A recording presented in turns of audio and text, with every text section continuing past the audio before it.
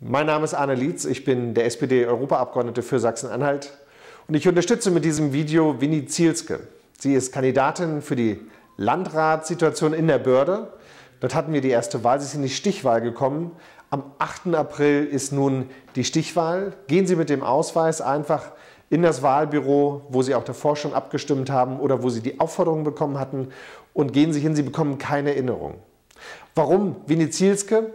Winnie Zielske ist hochaktiv im ganzen Landkreis unterwegs. Ähm, sie kennt den Landkreis durch ihre Tätigkeit als Geschäftsführerin, wo sie eben den Abwasser- und Trinkverband der Börde leitet. Und da kennt sie zum einen die Börde als Region und als Landkreis mit den verschiedenen unterschiedlichen Entwicklungen. Sie kennt aber auch das Management.